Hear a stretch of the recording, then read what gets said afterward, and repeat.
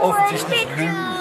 Äh, ich habe vor einer Woche dann, es war nicht bei Spiegel Online, aber bei Focus Online, äh, gelesen, dass da in den Kommentaren stand, ja, das ist sehr gefährlich, was in dem Konvoi ist, da könnten ja Waffen drin sein. Und andere haben sich dieser Meinung angeschlossen. Da habe ich auch einen kleinen Kommentar verfasst. Es geht, geht, ganz einfach.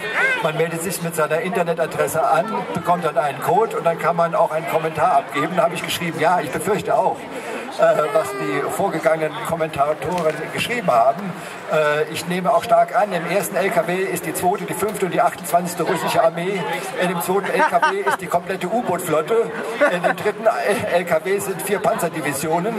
Und natürlich hat man die LKWs geöffnet, hat aber nichts gesehen, weil die haben sich alle hinter Babynahrungsglas versteckt.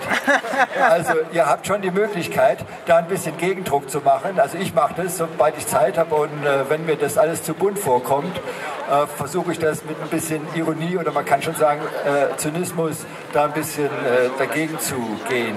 Äh, ich habe aber auch das Gefühl, dass immer mehr Menschen aufwachen und merken, dass wir belogen werden bis zum Anschlag. Auch habe ich mich gefragt, als Frau Merkel in Kiew war äh, und 500 Millionen der Kiewer Regierung zugesagt hat, was mit dem Geld gemacht wird. Das ist jetzt mal sekundär.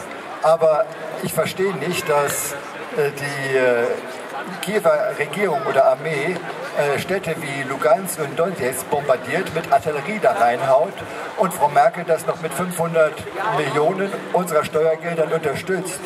Also ich wünsche mir eigentlich, dass die vor das Hager Kriegsverbrechertribunal äh, geholt wird und dort irgendwann mal gesiebte Luft atmen darf.